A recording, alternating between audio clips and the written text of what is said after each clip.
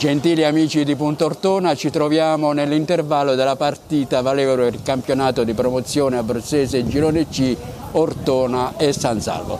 È terminato il primo tempo con il risultato di 2 a 1 in favore dell'Ortona e la partita si è riaperta proprio nel finale, all'ultimo secondo il San Salvo ha accorciato le distanze con Battista. Accanto a noi abbiamo Americo Gizzi, commentator di Ortona Notizie, uno che segue sempre da vicino il calcio ortonese. Che partita si sta disputendo oggi al Comunale di Ortona, Americo?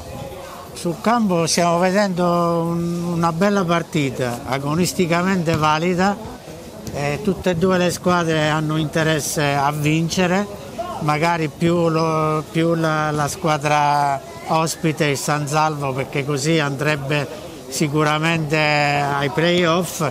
Comunque la gara è apertissima, l'Ortona sta giocando molto bene, da, eh, diciamo che, che a volte si lascia prendere un po' contropiede a centrocampo, la squadra del San Salvo non la conoscevamo così bene, si sta dimostrando una squadra ostica per cui il secondo tempo è molto aperto, dobbiamo stare molto attenti, dobbiamo rinforzare il centrocampo, poi noi in fase di rilancio sicuramente possiamo pungere perché abbiamo un centravanti che sta attraversando un periodo d'oro per cui secondo me dobbiamo fare muro a centrocampo per poi colpire in contropiede.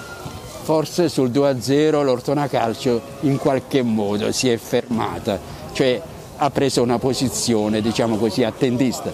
Sei d'accordo? Sì, però dobbiamo anche considerare che il gol del, del San Salva è scaturito su un calcio d'angolo, per cui e loro fisicamente sono messi molto bene per cui quando c'è un assembramento molte volte riescono a spiccarla. Quindi ripeto dobbiamo stare molto attenti. Il Sanzallo può sempre segnare ma se noi abbiamo un centrocampo ben impostato con dei lanci eh, noi abbiamo un centravanti che attualmente forse è il migliore del girone quanto è importante per l'Ortona Calcio la presenza del fantasista Alessio Dragani?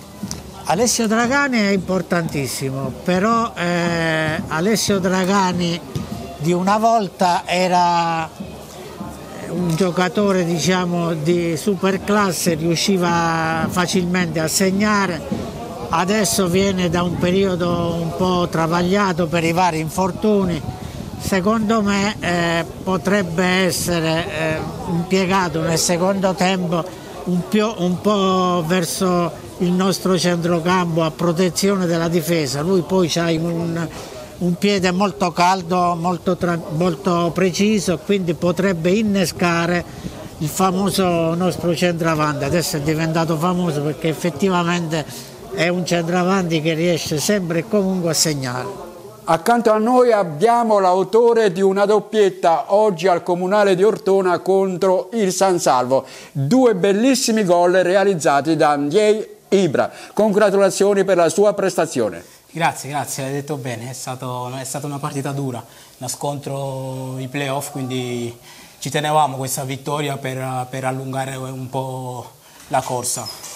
E ora stiamo pensando al prossimo per chiudere bene il campionato, anche se oggi era l'ultima partita in casa che dovevamo fare durante il campionato, poi vediamo cosa succederà nei playoff. Tu hai sempre giocato bene, ma in questi ultimi tempi sei anche in grande forma, è così Ibra? Sì, sì, io mi sono fatto male dopo la seconda partita, ne ho saltate 5 e al rientro mi è sempre fatto un piacere quando ritrovo in gol, ma tutto è il merito dei miei compagni perché mi, mi cercano, mi pescano dovunque sto, quindi il lavoro è del gruppo, è del gruppo. Paolo Savini, allenatore dell'Ortona, una bella vittoria molto ma molto sofferta. Sì, una bella vittoria con una squadra fortissima.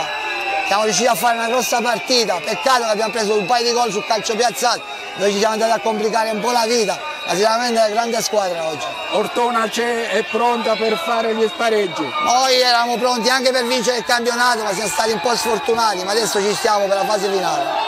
Come ha visto oggi la sua squadra? Benissimo, benissimo in tutti i reparti, ha fatto una partita eccezionale. Un voto in più, un elogio in più al Tutti. nostro colorete. Tutti bravi, Ibra, Fagone e questo ci fa piacere. Arrivederci.